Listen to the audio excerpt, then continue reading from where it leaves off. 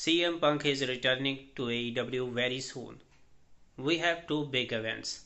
First of all, we have Double or Nothing. He will not be a part of that. But the big event, the Forbidden Door, maybe CM Punk will be there. Recently, we saw attack on Nick Jackson.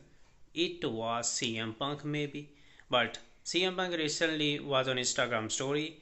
He targeted Chris Jericho, he targeted Jon Moxley, Dave Meltzer, and many others. He said Chris Jericho is a liar. But Chris Jericho wasted no time and he reacted on it. Chris Jericho said, delete.